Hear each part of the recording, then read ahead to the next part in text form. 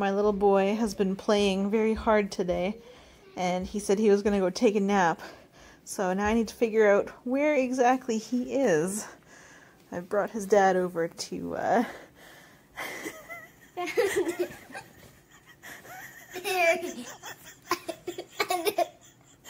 got his head blanket.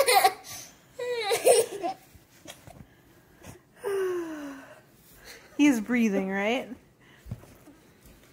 His head like all twisted up in there. Oh, little baby. this kid sleeps in the weirdest positions ever. Yeah, like. Okay, go on, Rhiannon.